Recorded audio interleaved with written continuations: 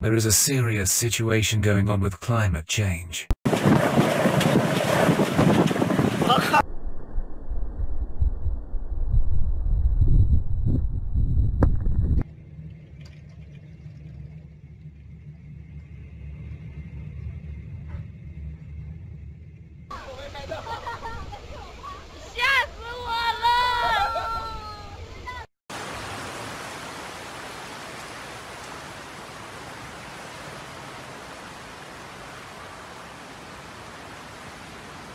The weather is becoming less and less predictable.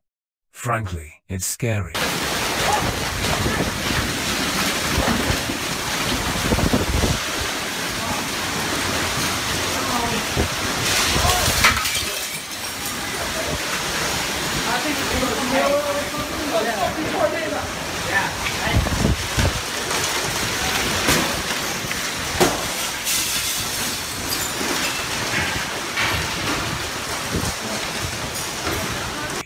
Weather across the world is unbelievable.